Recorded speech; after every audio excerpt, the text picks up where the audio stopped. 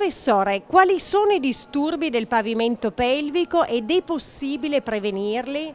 Allora, i disturbi del pavimento pelvico essenzialmente sono il prolasso uterino e eh, disturbi a carico della vescica, cioè nel senso di prolasso vescicale, incontinenza urinaria o vescica iperattiva.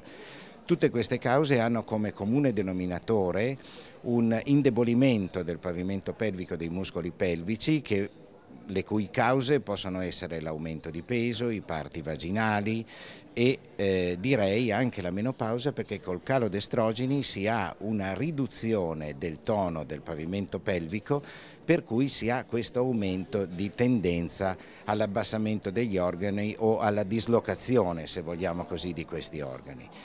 Cosa si può fare? Cosa si può fare? Ci sono vari interventi, ma direi volendo arrivare proprio al nocciolo della questione, esercizio fisico e non aumentare di peso. L'esercizio fisico sono anche previsti degli esercizi che possono aumentare il tono del pavimento pelvico, eh, fondati su contrazione e rilassamento dei muscoli perineali, fatti in un certo modo che possono, se prima ancora del prolasso, possono prevenire il prolasso e possono prevenire tutti i vari disturbi vescicali.